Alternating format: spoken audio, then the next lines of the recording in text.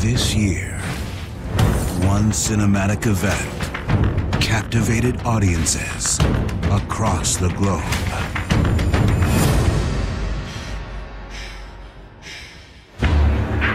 Now, the girl with the dragon tattoo will play with fire.